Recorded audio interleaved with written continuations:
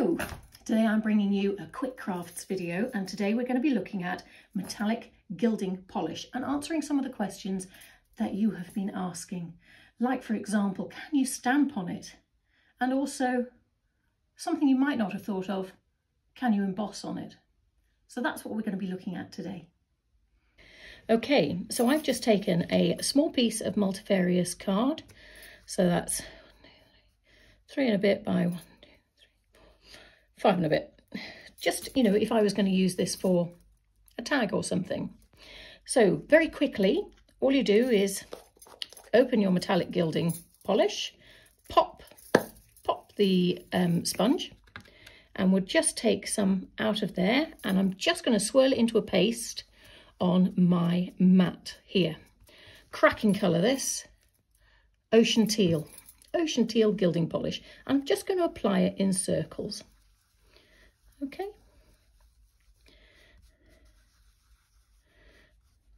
Cracking colour, look at that. How easy was that to just get a colour? Wow. I'm going to do two of these. So we'll just do one at a time. So this one, just give it a little bit of heat. I'm just going to give this a bit of a squirt and the sponge to help make sure that this stays with a little bit of moisture in it. Okay, and it'll last longer if we do that. Okay, just give this a bit of a wipe. Don't forget this is water-based, so it's going to be easy to clean up after. I'm just going to leave that there because I might come back to that bit if it's still moist. We'll see in a second. Okay, so now this is touch dry. So our question is, can you stamp on it?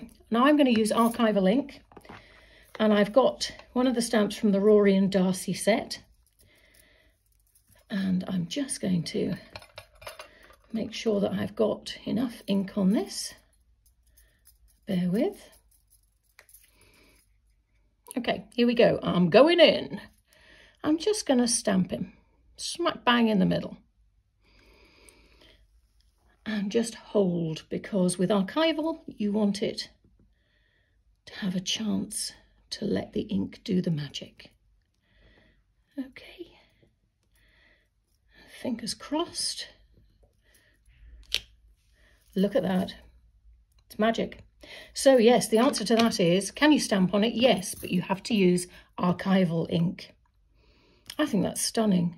You could just put a couple of liquid pearls on there as well, maybe another colour of the metallic, gilding polishes around the edges, and you've got a lovely little tag.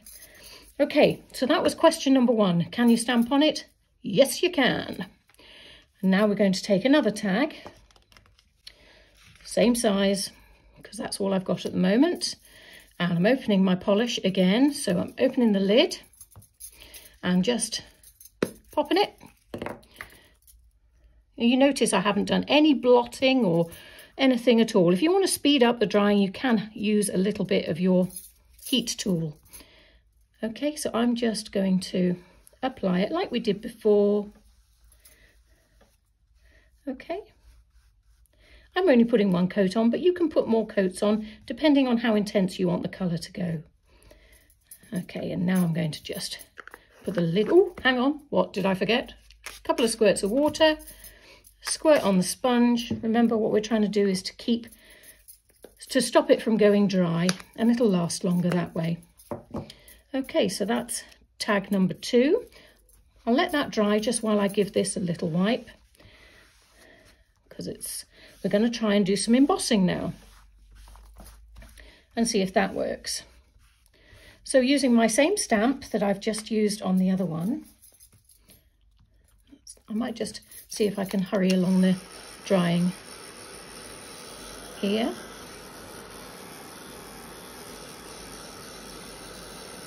Fab. Fabulous, look. I know that's fabulous, but look at my blue hands. No, it is drier, which is good. Okay, now I'm just going to use the anti-static pad to make sure that it doesn't all go everywhere. And I'm using Versamark, so I'm just going to ink up my little stamp so it's covered. Same thing again, right in the middle for diddle.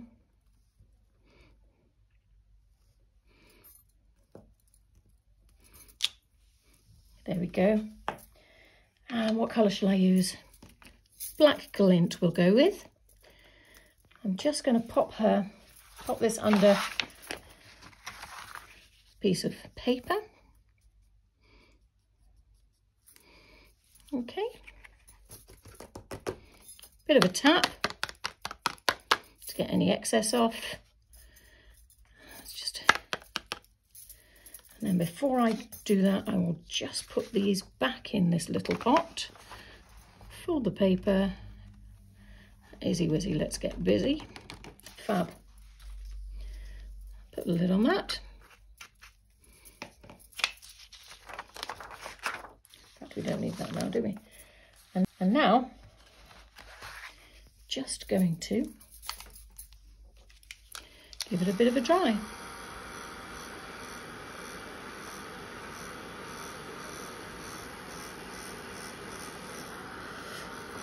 Mind your fingers, it does get warm.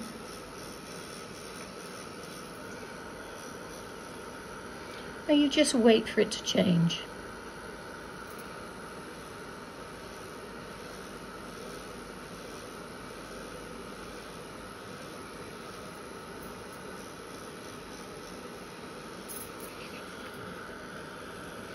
And as if by magic, so it changes.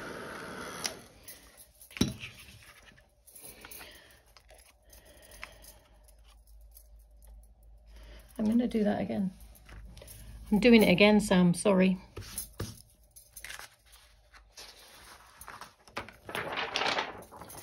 So bear with. So I'm taking another one of these tags opening my metallic gilding polish, popping the sponge, taking some of the gilding wax and working it into a circle. And I'm just going to pop it on my card, covering everywhere with it. Fabulous. Almost feel like the Karate Kid. Wax on, wax off. Right. Ah, a couple of sprays to make sure we keep the moisture inside the pot keeping it available for us to work with for longer.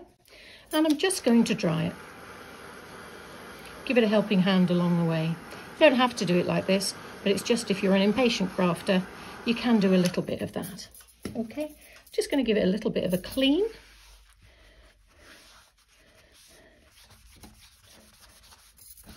There we go. And now, that's fab.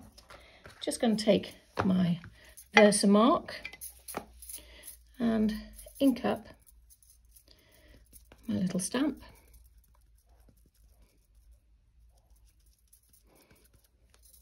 And I'm just going to try to very carefully place this without any squidgery onto my piece of card because I'd like a really clear print.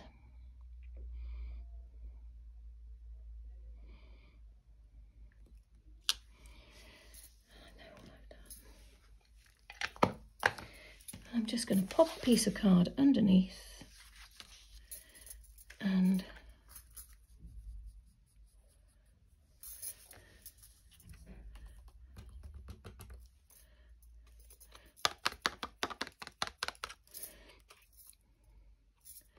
tap any excess off. I'll move that out of the way for the time being. Get the excess into my pot. Then give it a bit of a dry.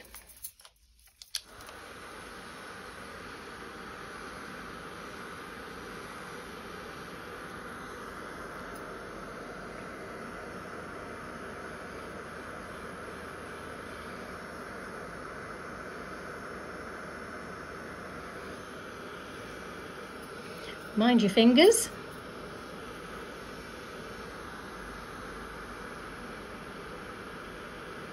And you can see it slowly turn.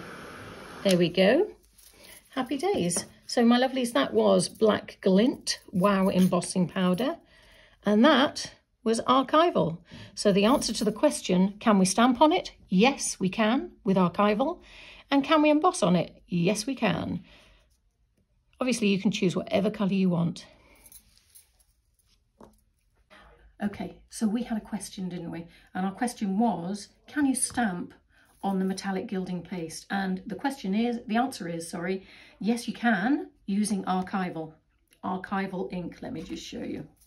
So you can using archival ink, yeah? Happy days. Next one, which you didn't ask, but we were going to tell you anyway. Can you emboss on it? And the answer is yes, you can. Now, you can use an anti-static um, word, word, anti-static cloth. That's it, that's the badger. You can use an anti-static cloth on this as well um, to stop the embossing powder from sticking anywhere it shouldn't. Um, but I didn't on this and it seems to have come out okay. So that was Versamark with my stamp and I just used some Wow embossing powder, Black Glint. Okay, so thank you very much for joining us for this quick crafts session. It's not easy to say that. Quick crafts session. I hope you enjoyed yourself. Any questions, any comments, please pop them in the post below and we will try and answer them for you. If there's anything you'd like to see, please pop that in the comments too, and that will be fabulous. Take care. See you soon.